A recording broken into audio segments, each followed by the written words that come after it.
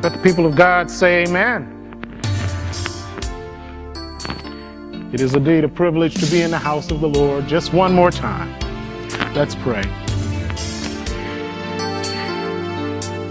Heavenly Father, we have worshiped, we have praised, and as we continue into this worship to the presentation of the word, I ask that you would simply use me as you see fit to deliver your word to your people.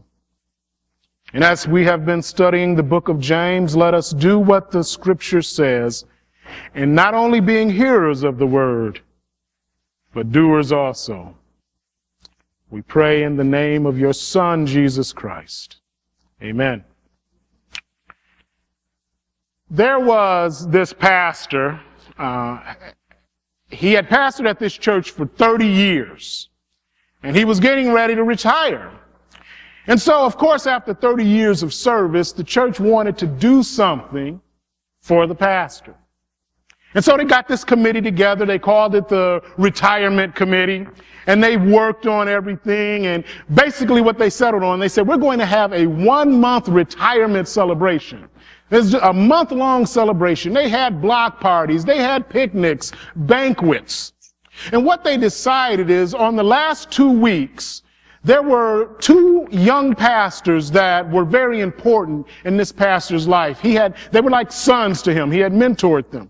And they decided, well, what we'll do is we will have these two men come in on those last two Sundays and we'll have them preach for the pastor. We'll have them deliver a message and say some good and some encouraging words to our pastor. Now, the interesting thing about these two men is that they weren't terribly similar. One of the uh, pastors, he had a degree, a master's of divinity degree, and a doctorate of ministry from Princeton Theological Seminary. The church that he pastored was a large church, and it was a very influential church. Influential and powerful people went to that church. Now, the other pastor, he did not have a master's of divinity degree. He had a bachelor's degree in Christian leadership from a small Bible college. And even though at the time he was pursuing a master's of a master's degree, it was not a master's of divinity. It was a master's in practical ministry. And of course, in the seminary world, the master's of divinity degree is the premium degree. And of course, he wasn't pursuing that. The church that he pastored was not a small church. It was a decent sized church, but it wasn't an influential church. It was a blue collar, working class church. And that was the individual that they invited to come first. So he comes and they, they're cordial and nice to him. He, he comes in. It was a Sunday evening service. So he comes in that evening and when he pulls up in the parking lot, there's someone waiting to greet him. They take him to the pastor so that they could sit down and talk. Service starts. He delivers a, a, very good and powerful sermon. He says some very kind words about his mentor. They take up a love offering for him, and it is a very, it's a generous love offering. And then they send him on his way. So a week is going by, and the committee is preparing for the second pastor. But they decide, you know what? Because of who he is and because of everything that he's involved in, we can't simply just have him come in on Sunday evening. So what they do is they invite him to come in Saturday.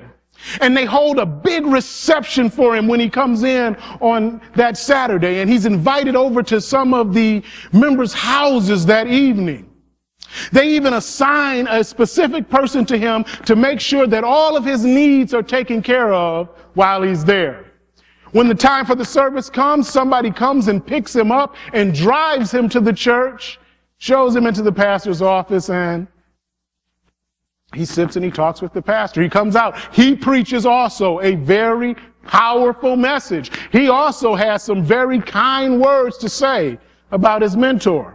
They take up a love offering. Again, it is a very generous love offering.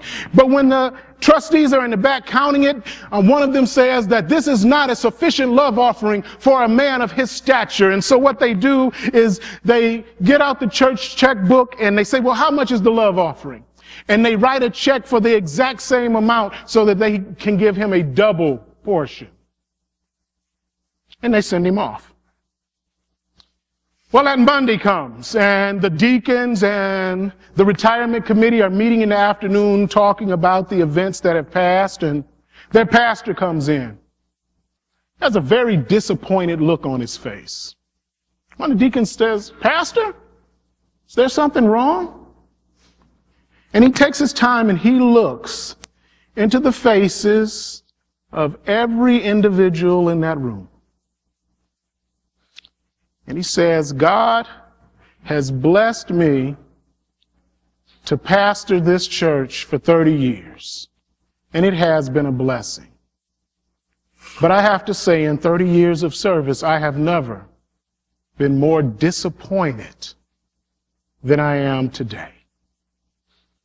I had hoped that as we studied together, as we learned together, as we grew in faith together, that we would have learned that as Christians, we do not show favoritism. But you have both of my sons in ministry who came and who preached a message for you, and one of them you treated well. I'm not, I don't want you to think that I think you mistreated him. You treated him well. But he didn't have the degree from Princeton. He didn't pastor the big church. He didn't know the influential and powerful people. And so when my other son in ministry comes, not only do you treat him well, you show him a great deal of favoritism. There's a reception for him. You assign someone to him to take care of his every need. And both of my sons in ministry preached powerful sermons, but yet when the one leaves, he leaves with two times what was given to the other one. And why does that happen? That happens because you looked at him and you saw a Princeton graduate. You looked at him and you saw a pastor of a big church. You looked at him and you saw someone of power and influence. That's favoritism. And God doesn't have favorites. And neither should we. And with that, he turned around and he simply walked out of the door. And so that's what we're going to talk about today, brothers and sisters. The fact that God does not have favorites. We're going to look at what our brother James has to say about favoritism. Our text today is coming from the book of James, second chapter, first through the 13th verse. Could you please stand as we read? I will be reading from the New International Version. James chapter 2 verses 1 through 13 and it reads, My brothers, as believers in our glorious Lord Jesus Christ, don't show favoritism. You're meeting wearing a gold, some, suppose a man comes into your meeting wearing a gold ring and fine clothes, and a poor man in shabby clothes also comes in. If you show special attention to the man wearing fine clothes and say, here's a good seat for you, but say to the poor man, you stand there or sit by my feet. Have you not discriminated amongst yourselves and become judges with evil thoughts? Listen, my dear brothers. Has not God chosen those who are poor in the eyes of the world to be rich in faith and to inherit the kingdom he promised to those who love him? But you have insulted the poor. Is it not the rich who are exploiting you? Are they not the ones who are dragging you into court? Are they not the ones who are slandering the noble name of him to whom you belong? If you really keep the royal law found in scriptures, love your neighbor as yourself, you are doing right. But if you show favoritism, you sin. If you show favoritism, you sin and are convicted by the law as a lawbreaker. For whosoever keeps the whole law and yet stumbles at just one point is guilty of breaking all of it. For he who said, do not commit adultery also said, do not murder. If you do not commit adultery, but you do commit murder, you have become a lawbreaker. Speak and act as those who are going to be judged by the law that gives freedom. because judgment without mercy will be shown to anyone who has not been merciful. Mercy triumphs over judgment. May the Lord add a blessing to the reading and hearing of his word. You may be seated. Favoritism. How many ways do we show favoritism? There are different types. There's economic favoritism. That's what James was talking about in the first part of the text. It's showing favoritism to somebody because of stuff. It's showing favoritism to someone because they have more means than you have.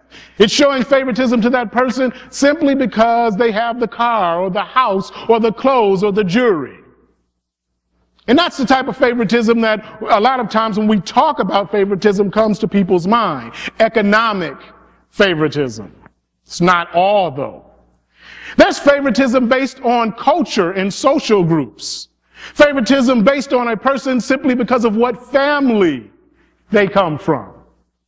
Favoritism based on somebody because of what organizations they are members of. Favoritism based on somebody because they come from the same cultural background that you do. That's favoritism based on physical appearance. Let's just face it. Good looking people have people be nice to them because they're good looking. I mean, if, if, we're going to be honest, that happens. People are nice to attractive people because they're attractive. And then there's religious favoritism. Favoritism, are you a Christian? Yes, okay, well, we'll show a little bit of favoritism. Are you a Baptist? Okay. Are you an American Baptist? Are you a Kansas American Baptist? There's all sorts of different ways that favoritism can be shown, but the bottom line is, and this is, if you don't take anything else away from the sermon today, this is the bottom line. It comes in the very first scripture that I read. If you are a believer in Jesus Christ, if you believe in God, do not show favoritism. It's very first, he starts, James starts off with it. Don't show favoritism. Problem is, that's hard. Why is it hard? Because it's a part of our nature. It's a part of who we are to do that. And a lot of times what happens, if you think about some of the times in your life you've showed favoritism, and don't say, well, I've never showed favoritism. Because you have. If you think about the times in your life when you've done it, if I, if I think about the times in my life when I've done it, sometimes we do it unconsciously. We do it without even thinking about the fact that we do it. But that is not an excuse. So, well, you know, I really didn't think about that I was doing it, so it doesn't count. Sin is still sin. Why does that happen? Well, Paul tells us why it happened. In, in his letters, Paul talks about the sinful nature. Remember, remember hearing that? Paul talking about the sinful nature. And he's saying that there, there are natures that are dueling against each other. There's that sinful nature, and part of that sinful nature is the showing of favoritism, and then there's the spirit. And they are constantly fighting with each other. It's a, Paul says it's a daily battle.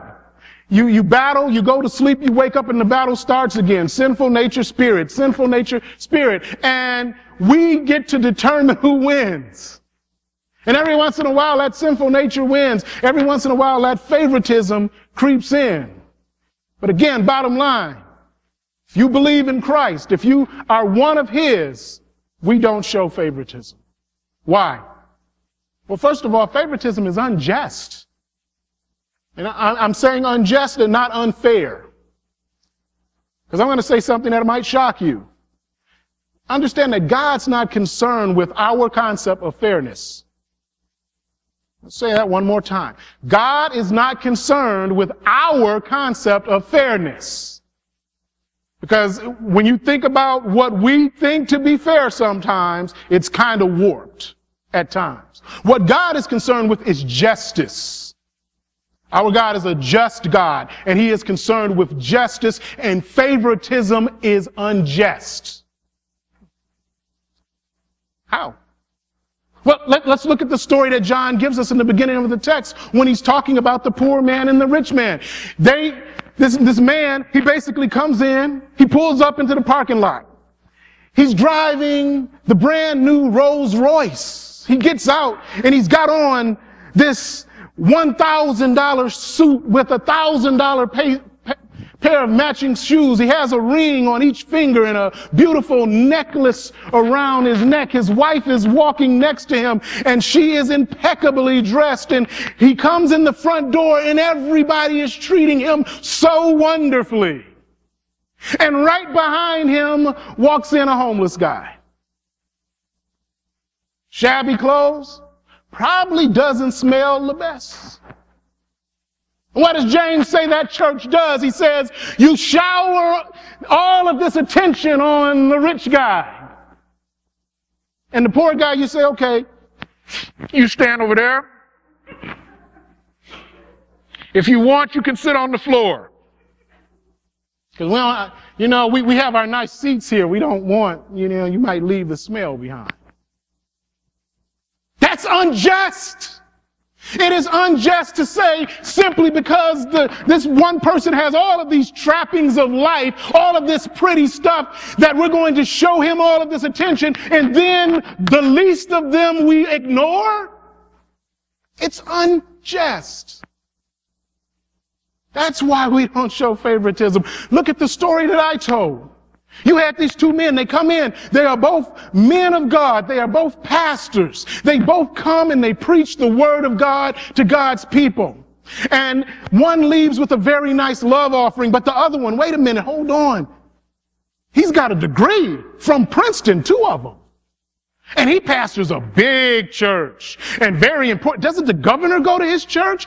Important people go to his church. We can't leave him, allow him to leave here with this measly offering. Let's go into the church treasury and write something extra for him because God knows we could never do that. But they both did the same thing. But we show favoritism to the one person simply because of who they are. That's unjust. And I wish that I could stand here and tell you that, well, that's what happens in the world, but it doesn't happen in Christian circles, but you all are too smart to know. You know that that's not the case. It happens all the time in Christian circles.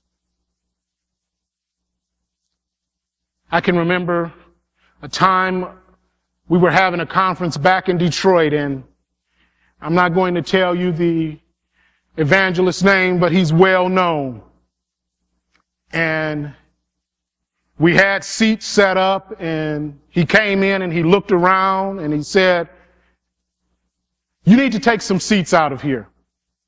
We're like, why? He says, because if you take some seats out when everybody fills in, it's going to look it's going to look like it's more full than it is. I, I don't want to preach in a place where it looks empty. He's well known, well known preacher. And he came and everybody fawned over him. Oh, oh, pastor, oh, reverend, I, oh, we love you. Can I buy your book? Can I buy your t-shirt? Can I? All of this. And the preacher that came on after him was a local guy, local preacher, preached at a very small church in the inner city. Maybe 80 members. And he preached a sound, biblically based message, and it was, it was wonderful. And after, and, and after it's over, I couldn't wait to talk to this individual. But everybody's over here with the other guy. Who, yeah, he was okay. I'll be totally honest with you. He wasn't bad, he was okay. But the message that, that this local guy gave was much better. But everybody is showing, and, and these are Christians. They're all showing favoritism to this one guy because He's well known. He sells books. He sells t-shirts. He makes movies. It's unjust. Another reason God doesn't want us to show favoritism is because favoritism is rooted in selfishness. It's rooted in selfishness. A lot of times we show favoritism because it, we get something out of it. When you look at social favoritism, cultural favoritism, when you look at favoritism based on our religion, what it is, is we are favoring people who are like us. We are favoring people who think like us. We are favoring people who talk like us, who look like us, who believe like we believe, and that makes us feel comfortable. Don't want to step out. You, you know, uh, you got that group over there. We have in Detroit, we have a large Sikh population, and, and Sikhs are, they're Indians, but they, they wear the turbans and, and, and they look different. And it's uncomfortable. And so I, I'm going to favor this group over here because they look like me, they sound like me, they act like me. I'm not going over there to the people that wear the funny things on their head. It's selfish. We're going to be where we feel comfortable. Let me tell you something. I've read the Bible from beginning to end, and nowhere in it does Jesus say, Thou shalt be comfortable. He says, Go. He says, Make disciples. But he doesn't say, Go make disciples in places where you're comfortable.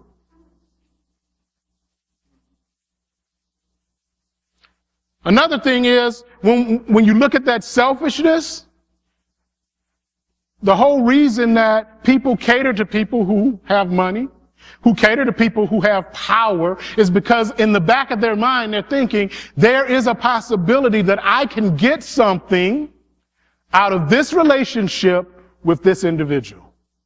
Again, think about it. You'll know that this is all honest, hard truth. I've done it myself. But here's the problem with that.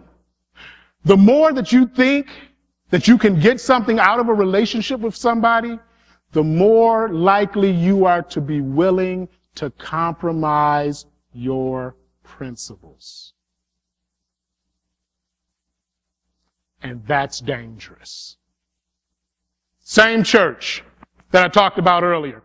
And most churches have that. We're, lucky in that um, most of the people in this church, th- th- this isn't one of those generational churches. And what I mean by generational churches, there are some churches where there are generational families. The great great grandfather laid the cornerstone for the church. And then the, the great aunt founded the first choir and all of that. And what happens in those churches is usually you have one, maybe two families that are very influential within the church. It isn't even a matter of money because this particular family in this church was not a rich family, but they were influential because the family had been there forever. And because if of all the connections and cousins and, and, and great uncles and all of that, if the, if everybody who was connected to that family left the church, they would have lost about a third of their congregation. So when this family would come and ask for things, oh sure, we'll give you that. Well, can we get this? Oh sure, we'll give you that. Well, how about this? Oh sure. Well, one day one of the family members comes and he asks for something that would totally have gone against Christian principle. And so the church leadership came and they got together to have a meeting. Now here's the problem with the meeting. They weren't talking about, well, this is what they want. This is Christian principle. This is what the Bible says. This is what God teaches us. That wasn't the conversation. The conversation was, well, if we don't do what this particular person is asking, how will it negatively affect the church? Is this person a powerful enough person within that family that they could sway other people within the family? Compromising principle. That's dangerous. And it's something that we can't do. And that is why God is saying, don't show favoritism. Don't show it because favoritism is rooted in selfishness. Don't show it because favoritism is unjust. Favoritism is also basically a sin. What does it say in our text? In, in verse 8, it said, If you do as the Bible says, if you do unto others as you would do unto yourself, that is good. Then the very next verse says what? It says, If you show favoritism, it is a sin. I mean, right there in black and white. If you show favoritism, you sin. And you are convicted by the law. And, and what James is trying to say there, I'm pretty sure there were some people in there that knew the law. And they were saying things like, well, you know what? I don't commit adultery. You know, I'm not a murderer. I, I don't do any of those things. So I'm okay. In the eyes of God, sin is sin. It's not, he's not like us. Because what we do is we compartmentalize and categorize. There's uh, big sin, there's medium sized sin, and there's small sin. No, God says sin is sin. No big, medium, small. Sin is sin. And favoritism is a sin. Why is it a sin?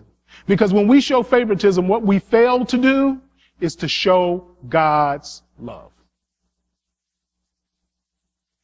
Rich guy over here, you know, we'll take care of him and make sure he has everything that he wants. Poor guy over here, I'll get to you in a minute. I got to go talk to rich guy. And we, you know what we can do?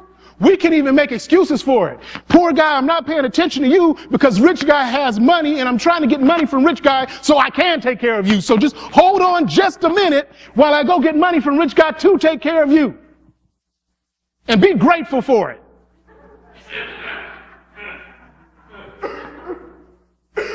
We're not showing God's love. And that's why favoritism is a sin because we fail to show God's love. The bottom line with favoritism is that when we show favoritism, what we do is we damage our ability to witness for God. And one of the main things that we are to do when we accept a life with Christ is to be his witness. Be his witness through the way, not only that we speak, but through the way that we live. And if I'm busy over here showing all of this favoritism to this one person and not to this person, what I've done is I've damaged the witness. And what people don't realize, I've damaged the witness for both individuals. I've damaged the witness for the person that I'm ignoring because what you hear, what you're going to hear is, yeah, there those Christians go again. Bunch of hypocrites. But you're damaging the witness for the person that you're showing favoritism to because what happens is you are not holding them to account when you should hold them to account. That's not good. We're damaging our witness. When we show favoritism based on our social and our culture, we're damaging our witness. When we show religious favoritism, we're damaging our witness. Let's go back to our church. They eventually got a pastor. They didn't hire either one of those guys. They eventually got one though. And one day he's walking through the welcome center in the church. And you got this group over here talking with themselves, and you got this group over here, and they're talking with themselves, and a group back here is talking with themselves, and then he looks over in the corner. And he sees a husband, a wife, and a child. And it's obvious that this group is hurting. And they're over there in the corner, and this group's still talking with themselves. Don't even notice. This group's still talking with themselves. That what are they doing? Again, they're show, that I'm comfortable. Some may have even noticed, but you know what? I don't want to go over there because it might get messy. Go back to Casey Van Norman. Life's messy. And I don't want to go over there because it might get messy. So I'm going to stay over here where I'm comfortable. Well, the pastor didn't do that. He went and he talked to them and he found out that they were going through a lot. The husband and wife were having marital issues. They were having financial issues. It was all sorts of bad things going on in their life. And so the husband, he, he asked, could he talk to the pastor by himself? And he sent his wife and his child off. And he said, I don't know why I came here today, pastor. It was just something inside me said that I should go here. And I'm going to be honest with you, Pastor. As I sat here and I, I looked at the congregation, I, I really was confused as to why God wanted me to be here because it didn't seem like anybody cared. And then you came and you talked to us and, and you paid attention to us. You, you basically loved us. And I'm, I'm really glad that you did that. He said, because to be totally honest with you, things had gotten so bad in my life that had I not had this conversation with you, my plan was to go home, to shoot my son and my wife, and then shoot myself. But I'm not going to do that now. You see what the cost of not doing what we need to do can be. Everybody was in their own little world. And there was somebody over in a corner that was hurting. But nobody paid any attention. We cannot do that. The cost is much too high. Jesus gave us the example. We show love, we show mercy, we show kindness to people regardless of what we can get in return. Favoritism, again, I'm showing you this kindness because of what I think I might get back. But as children of God, we do that and we don't expect anything in return. Because that's what Jesus did for us. Isn't it wonderful that as Jesus was walking up the Via Dolorosa, preparing to hang on the cross, he didn't say, I'm only doing this for Jews. You Gentiles, you're on your own. Isn't it wonderful that as Jesus was hanging there on the cross, he didn't say, I'm hanging here for the people who don't have money. Rich folks, worry about it yourselves. Isn't it wonderful that when he was hanging on the cross, he did not show favorites? He said, if you are born into this world, I am stretching my arms wide. I am hanging here for you and I'm giving you an opportunity for salvation. I'm not going to show favoritism to anyone. Isn't that wonderful? Our God doesn't have favorites. He's not a respecter of person. He doesn't love any one individual more than he loves another. And if we are going to imitate Christ, if we're going to live a life similar to his, then just as the pastor of that church said as he was leaving, you and I, we can't have favorites because God doesn't have favorites.